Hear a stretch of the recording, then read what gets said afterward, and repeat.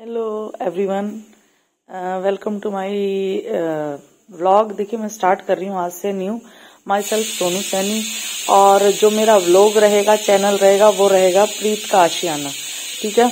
जिसमें प्रीत के आशियाना में आपको मेरे जो भी, मेरी फैमिली है, या जो मेरा घर है, जो मेरा रहना है, या जिस तरह से भी मैं घर में वर्क करती हूँ, मैं आप लोगों से सारा शेयर करूँगी तो प्लीज़ मेरे ब्लॉग को आप प्लीज़ शेयर करना, मेरे चैनल को सब्सक्राइब करना और प्लीज़ फॉलो आप लोगों के लिए कुछ अच्छे अच्छे टिप्स लेके आऊँगी।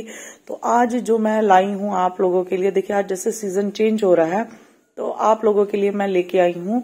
जैसे आप सरसों है, देखिए सरसों अब और एक महीने बाद आपको मिलना बंद हो जाएगा। तो देखिए हम लोग पंजाबी है तो पंजाबी लोगों में देखिए साग का, सरसों के साग का बहुत क्रेज होता है। तो देखिए मैं आप लोगों को इस ब्लॉग में आप लोगों को आपको प्रिजर्व करना बताऊँगी कि कैसे आप प्रिजर्व करके एक साल के लिए आराम से रख सकते हैं, क्योंकि ये मैंने खुद यूज़ किया है टिप और मैं कम से कम चार पाँच सालों से इसे यूज़ कर रही हूँ। मैं आप लोगों को शो भी कर दूँगी जैसे मैंने प्रिजर्व करके रखा हुआ है और नेक्स्ट ईयर के लिए भी मैंने प्रिजर्व करना स्टार्ट कर दिया है। अभी मेरा देखिए नेक्स्ट ईयर का ही प्रिजर्व जो मैंने किया हुआ था लास्ट ईयर का वो ही अभी मैं यूज़ कर रही हूँ। इस ईयर मैंने अब जो इस सीज़न में था मैंने साग नया नहीं बनाया था वो मैं लास्ट ईयर वाला ही प्रिजर्व किया हुआ यूज़ कर रही हूँ। और अब मैं नेक्स्ट के लिए मैं फिर से प्रिजर्व कर रही हूँ। तो वो मैं एक छोटा सा वीडियो डालूँगी कि आपको करना क्या है कैसे उसे स्टोर करना है। तो आप लोगों को मैं बताती जाऊँगी क्या क्या क्वांटिटी कितनी कितनी क्वांटिटी क्या सामान लेना है उसमें मैं सबको बता, सब बताती रहूँगी। वैसे मेरा एफ़ बी पेज पर लाइव सेशन भी होते हैं, यानी कि प्रीत कलेक्शन के नाम से मेरा एफ़ बी पर पेज भी है। आप देखिए, उसे भी फॉलो कर सकते हैं। वहाँ पर मैं आप लोगों को बहुत अच्छी अच्छी कलेक्शन दिखाती हूँ, जिसमें कॉस्मेटिक हो गया स्टेशनरी हो गया आपका किड्स का कलेक्शन हो गया किड्स के वुलन सूट्स हो गए या नॉर्मल सूट हो गए पार्टीवेयर सूट हो गए। और आपका ज्वेलरी हो गई तो मल्टी मतलब कलेक्शन होती है। मेरे पास आप मुझे फॉलो कर सकते हैं, वहाँ पर भी ज्वाइन कर सकते हैं और वेरी रीजनेबल प्राइस में मेरा वो सामान रहता है। बाकी देखिए, मैंने व्लॉग इसलिए स्टार्ट किया है क्योंकि जो मेरे पास टिप्स है, देखिए, सब लोग शेयर नहीं कर पाते, बहुत लोगों के पास होते हैं टिप्स बट वो शेयर नहीं कर पाते हैं। तो मैं ये चाह रही हूँ कि मेरे जो टिप्स है, मैं आप लोगों तक पहुंचाऊं, या जो मेरे एक्सपीरियंस है लाइफ को लेकर, या कुछ भी, या मुझे अपनी फैमिली को लेकर कैसे डील करना है, या अपने जो भी छोटे छोटे एक्सपीरियंस है, वो मैं शेयर करना चाहूँगी इस ब्लॉग के माध्यम से, इस वीडियो के माध्यम से। तो प्लीज़ अगर आप लोग मेरे से जुड़े रहना चाहते हैं टिप्स जानना चाहते हैं तो ज़रूर देखिए ज़रूर मेरे ब्लॉग को देखिए सब्सक्राइब कीजिए चैनल को मेरे फॉलो कीजिए। तो मैं आ, मेरा जो रहेगा वो रहेगा प्रीत कलेक्शन का आशियाना से रहेगा ठीक है? जिसमें आशियाना में आप लोगों को बहुत अच्छी अच्छी चीज़ें मैं बताऊँगी ठीक है? और मेरे आशियाना से जुड़ी हुई रिलेटेड चीज़ें भी आप लोगों से शेयर करूँगी। वैसे आज के ब्लॉग में जो मैं आपको दिखाऊँगी वो दिखाऊँगी मैं आपको साग की रेसिपी साग की रेसिपी सारे ही जानते हैं, पर प्रिजर्व कैसे रखना है उसे एक साल के लिए वो मैं आपसे शेयर करूँगी। आई थिंक आप लोगों को ये टिप्स बहुत पसंद आएगा। ये व्लॉग मैंने स्पेशली साग के लिए इसलिए बनाया क्योंकि सीज़न ऑफ़ हो रहा है और मैंने ये प्रिजर्व करना स्टार्ट कर दिया। तो ठीक है, आज मैं देखिए छोटा सा व्लॉग बनाऊँगी, ज़्यादा बड़ा नहीं बना पाऊँगी। तो मैं आप लोगों को वो शेयर करूँगी कि कैसे आप उसे प्रिजर्व कर सकते हैं। और क्वांटिटी भी मैं आप लोगों को साथ के साथ बताऊँगी कि मैं क्या यूज़ यूज़ करती हूँ उसमें। सरसों का साग में मैं पालक, मेथी, बथुआ एंड चना और मेथी।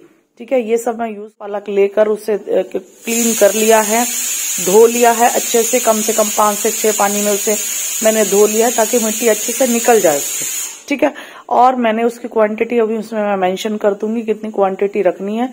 अगर आप मेरे से क्वांटिटी अलग से जानना चाहते हैं तो मुझे मैसेज कर सकते हैं। और उसके बाद मैं आप लोगों को बताती रहती हूँ कि उसे क्या क्या प्रोसीजर उसका कैसे चलेगा।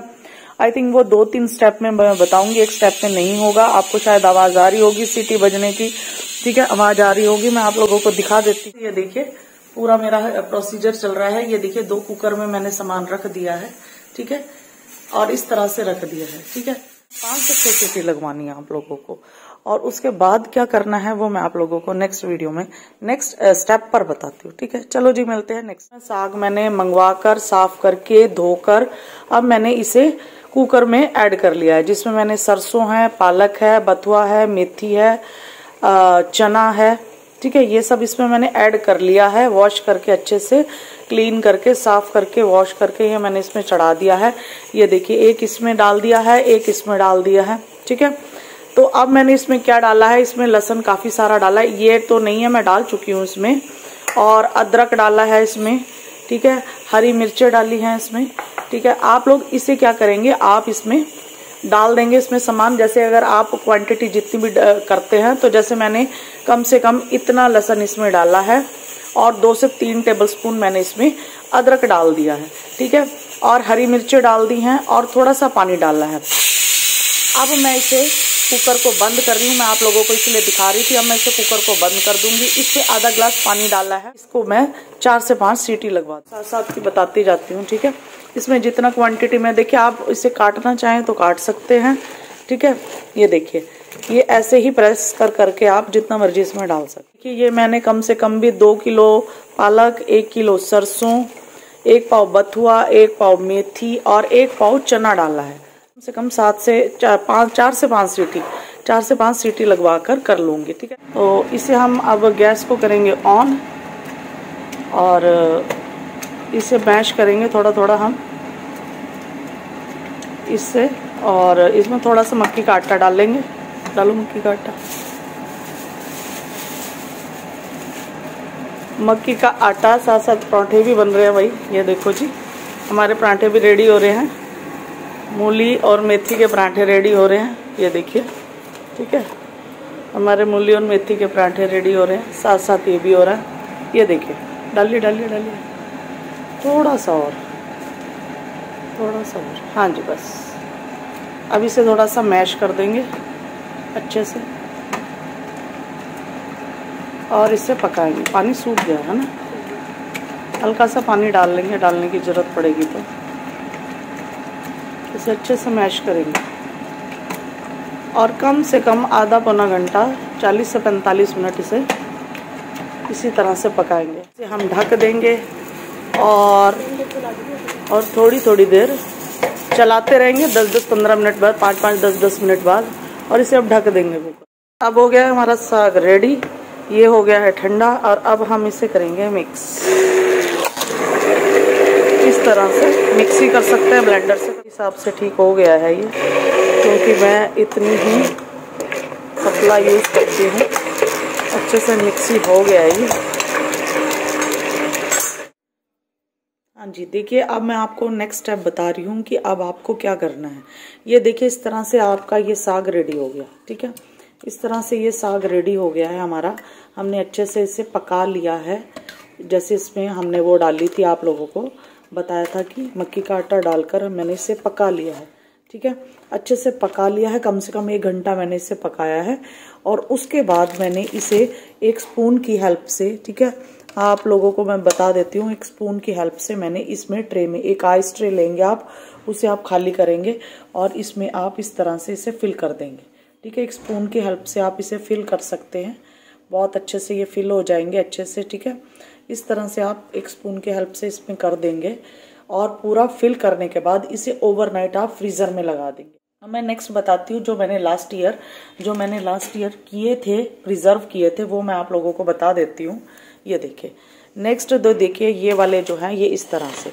ये मेरे पास जो पड़े हुए हैं, ये देखिए। आप चाहें तो ये देखिए, इस फॉर्म में भी इन्हें कर सकते हैं। ये देखिए। इस तरह से ये जाएगा। और ये अगर आपके पास कोई प्लास्टिक कंटेनर है, आप उसमें भी डाल सकते हैं। ये देखिए। या फिर ये ये देखिए, ये ये जो मैंने वो किए थे आइस ट्रे में जो जमाए हुए हैं, वो इस इस फॉर्म में आ जाएँगे। ठीक है? इस तरह से आप चाहें तो इसे छोटे छोटे बॉक्सेस में डालकर भी फ्रीज कर सकते हैं। इस तरह से ये जाएँगे और इस तरह से आइस ट्रे में भी कर सकते हैं। ठीक है? उसके बाद जब आप लोगों को इसको बनाने के लिए बाहर निकालना है तो आप एक घंटा पहले से बाहर निकाल के रख देंगे सॉफ्ट हो जाएँगे और अपना तड़का लगाइए, आराम से इसे बना सकते हैं। ठीक है? आपको मैंने प्रोसीजर बता दिया है। ये जो मैं आप लोगों को दिखा रही हूँ, ये मेरा लास्ट मार्च के पड़े हुए हैं। मीन्स कि ये प्रिजर्वेशन मेरी पिछले लास्ट मार्च से है, जो मैं अभी तक की इन्हें खा रहे हैं हम, और टेस्ट इतना ज़्यादा अच्छा होता है कि कोई भी टेस्ट में फ़र्क नहीं आएगा। तो प्लीज़ आप इस चीज़ को ज़रूर फॉलो करना, इस टिप्स को ज़रूर अजमा कर देखना। इस तरह से आप फ्रीज़र में इसे लगा देना, और आप एक साल तक आराम से इसे खा सकते हैं। तो ये था मेरा आज का पूरा व्लॉग जिसमें मैंने आप लोगों को ये बताया कि आप साग को किस तरह से पूरे साल के लिए प्रिजर्व करके रख सकते हैं। आप ये ट्राई ज़रूर करके देखना। और अगर आप लोगों को पसंद आता है तो कमेंट बॉक्स में डालकर ज़रूर कमेंट करके बताना कि क्या आपको ये टिप्स अच्छा लगा और इसका कुछ फ़ायदा हुआ। आप लोग ज़रूर ये ट्राई कीजिएगा। और मैं नेक्स्ट व्लॉग में आप लोगों को कुछ और अच्छा नया टिप्स दूँगी। तो प्लीज़ मेरे चैनल को ज़रूर सब्सक्राइब कीजिएगा अगर आपको नए नए टिप्स चाहिए। ओके थैंक यू चलो जी, मिलते हैं नेक्स्ट व्लॉग में। लो जी, ये आ गया हमारा मूली और मेथी का पराठा। साथ में घर का मक्खन और बढ़िया वाली चाय। अब हम इसे करेंगे टेस्ट, कैसा लगता है? और आप लोगों को टेस्ट करके बताएँगे कि ये कैसा है। बहुत ही टेस्टी है। इसमें डाला है मैंने धनिया, इसमें डाली है मैंने मेथी, अजवाइन, नमक और ये है बटर जो कि मैंने घर पर ही निकाला है, उसका भी मैं आपको बता दूँगी कि कैसे कैसे निकालना है, ठीक है?